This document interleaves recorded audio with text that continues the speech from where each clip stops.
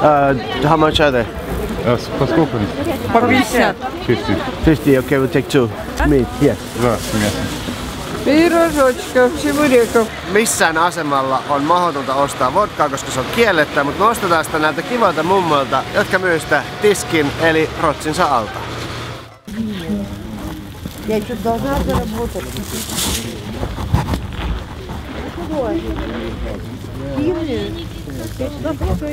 Täällä on ihan vitun kylmä.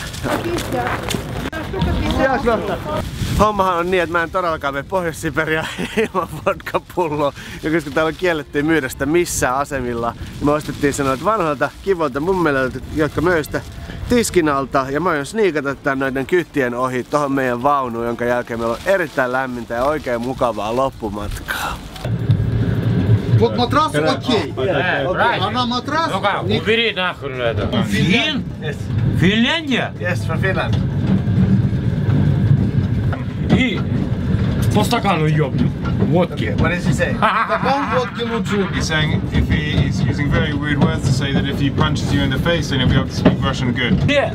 Православные. Menee päähän kuin Ой, извините. Раша водка гуд. Отсюда Раша водка гуд. Раша водка гуд.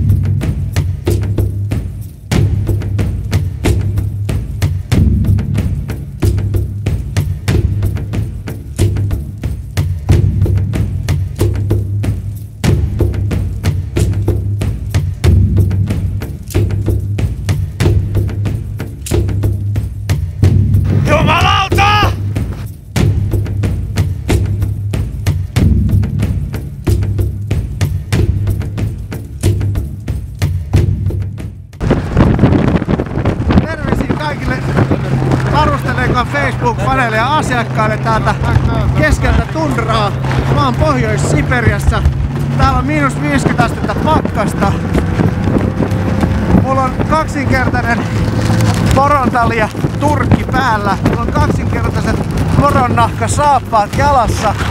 Syy miksi on oikeesti lämmin ja mä jaksan täällä painaa päivästä toiseen kun hangon keksi. On se, että mulla on varusteleekaan kalsarit jalassa.